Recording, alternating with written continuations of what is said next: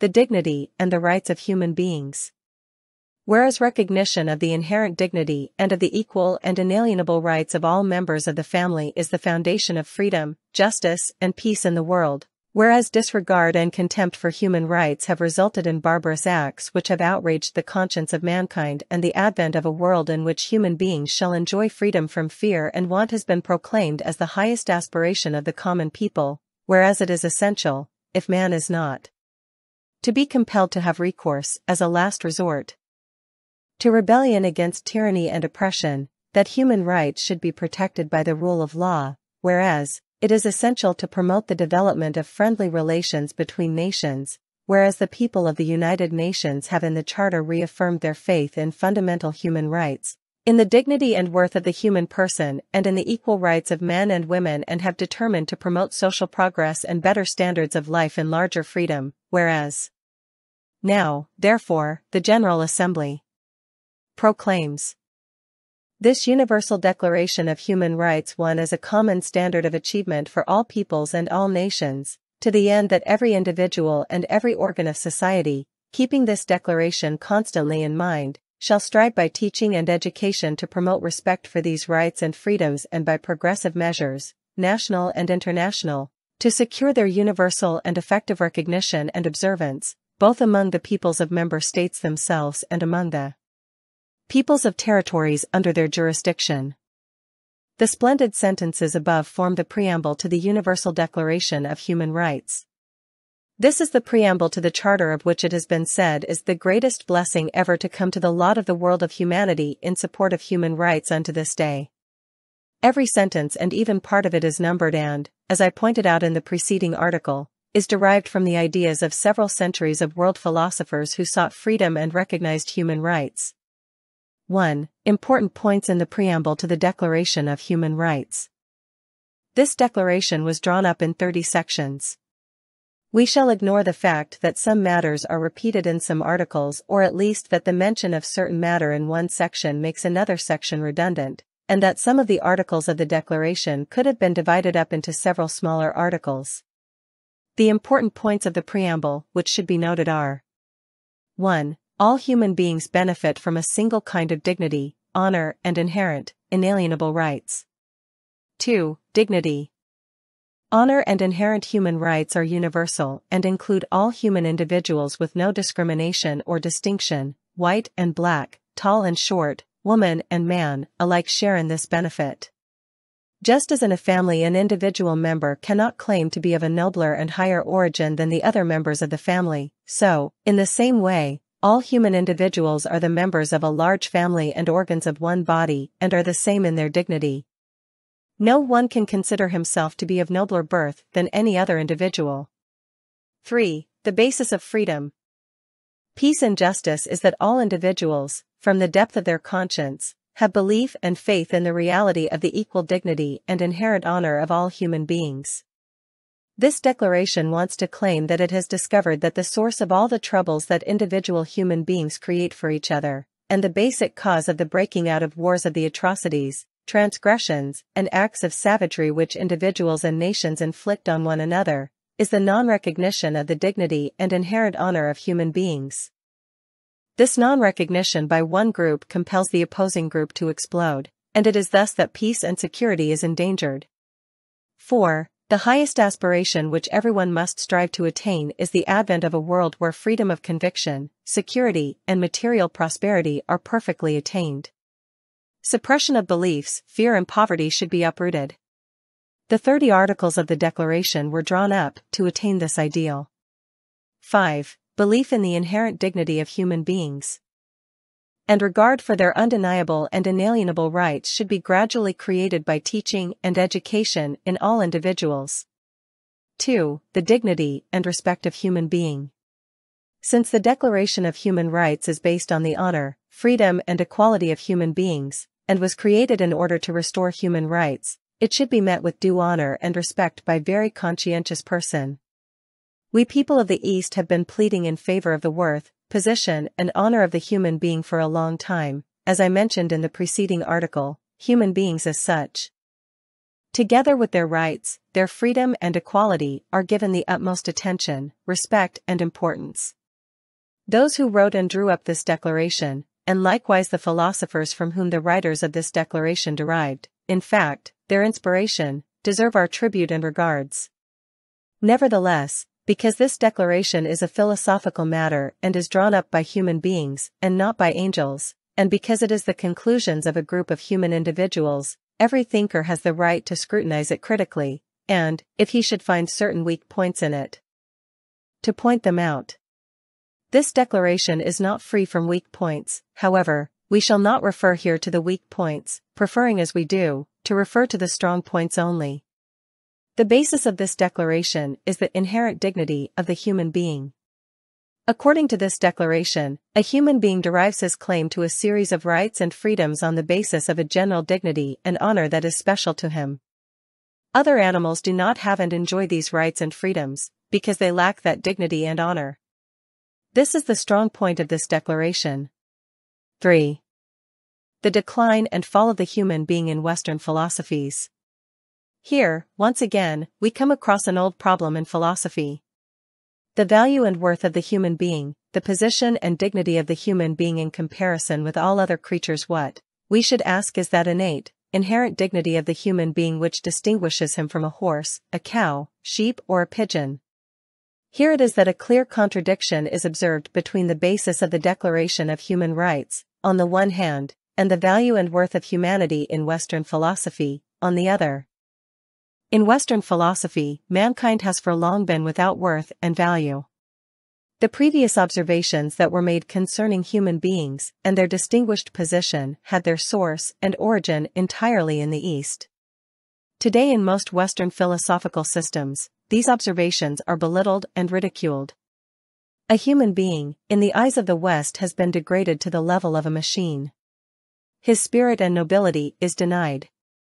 Belief in a final cause and a plan or design for nature is considered a reactionary idea.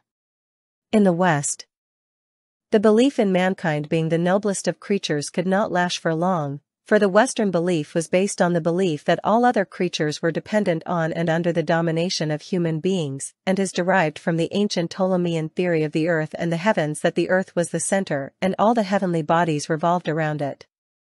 Thus, when this belief was abandoned there were no grounds left for considering mankind as the noblest of creatures. In the eyes of the West, all such thoughts were mere self-aggrandizements to which human beings were the victims of the past.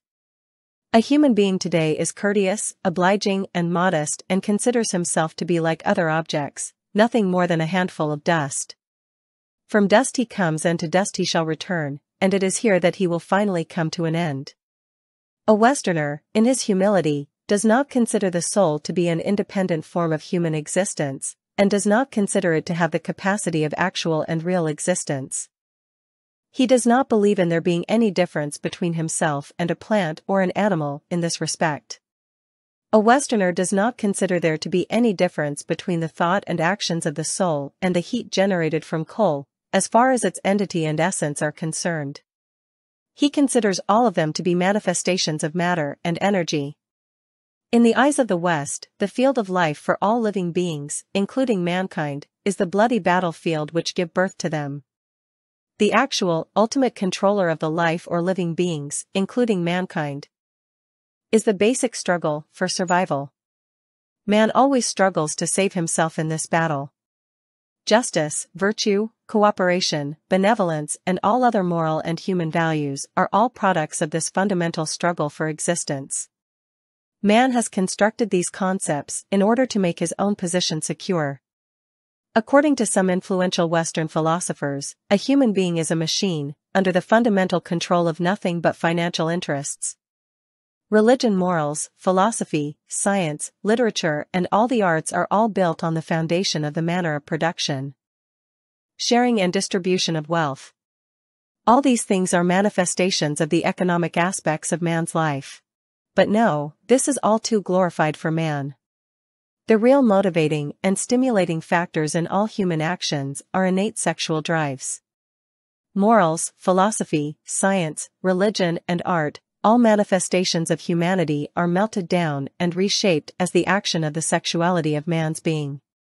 What is difficult to understand is that if we decide that we should deny the purposefulness of creation, and believe that nature quite blindly proceeds on its own course, if the only law which guarantees the life of the various species of living creatures is the struggle for survival, the selection of the fittest and nothing but chance, if the survival and existence of a human being is the product of accidental change, devoid of any purpose, merely a chain of unnatural acts over a few million years, which his forefathers permitted with other species, and which resulted in him having the form he has today, if it is decided to believe that man is an example of the machines which he now manufactures himself with his own hand, if it is decided that belief in the spirit, its fundamentality, and its permanence is, it is considered to be, a sort of egotism or self-conceit.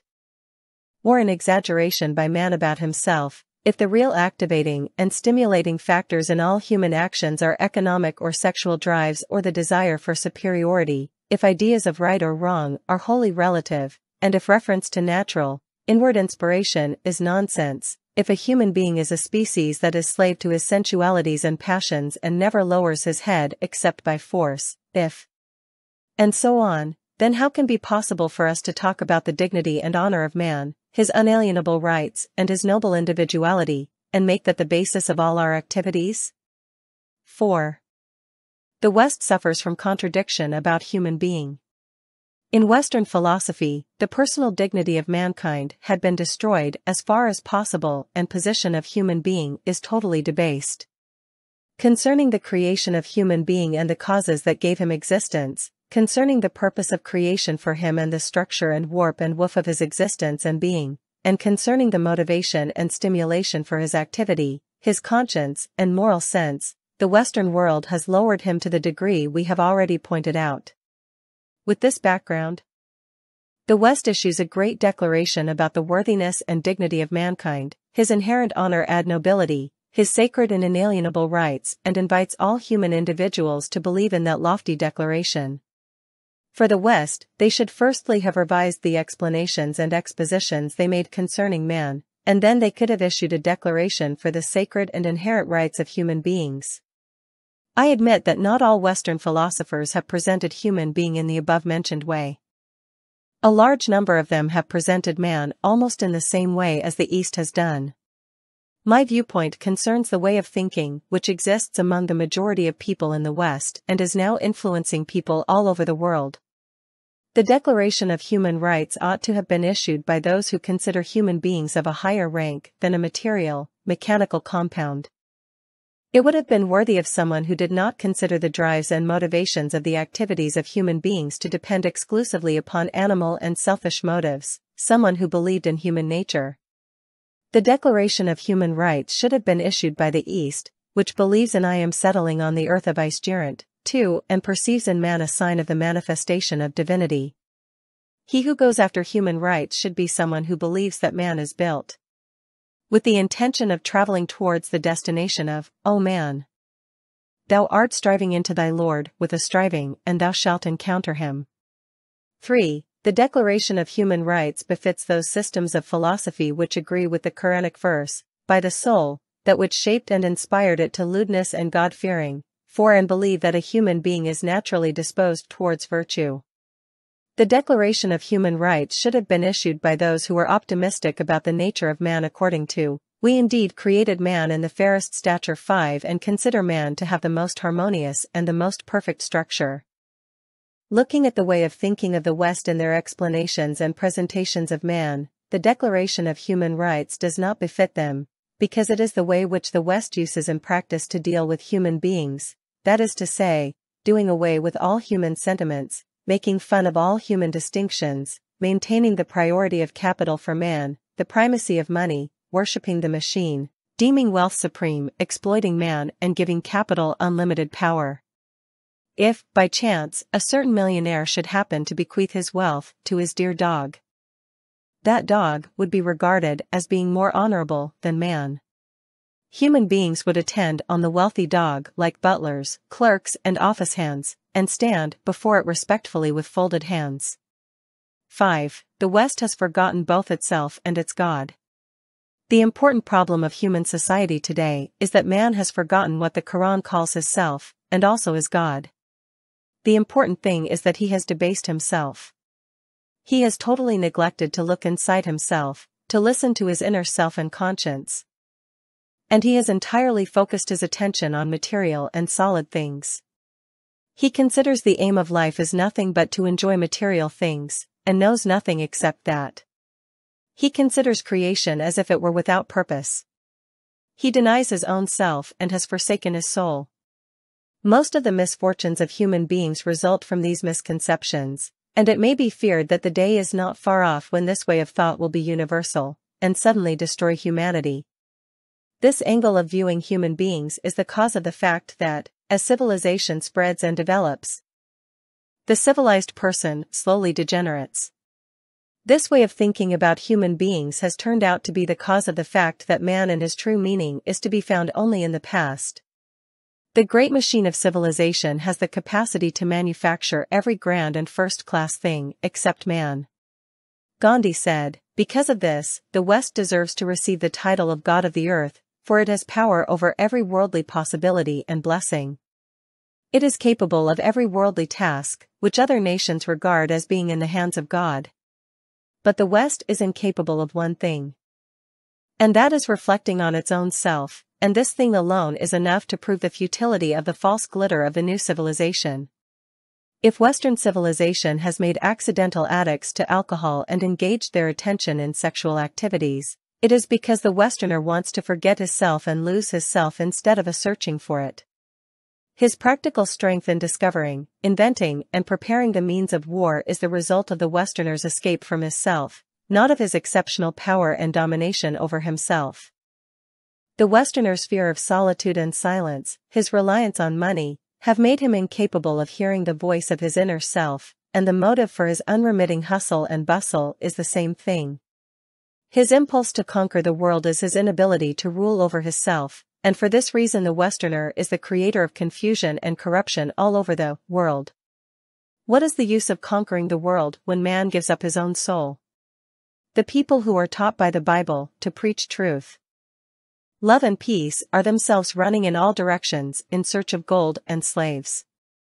Instead of conforming to the teachings of the Bible and looking for reward and justice in the kingdom of heaven, they use the weapon of religion to exonerate their own sins, and instead of broadcasting the word of God, they drop bombs onto nations. 6. This is the reason that the Declaration of Human Rights was violated by the West before anyone else and more than anyone else. The philosophy that the West follows in practice leads them to no other way of action except the breaching of the Declaration of Human Rights.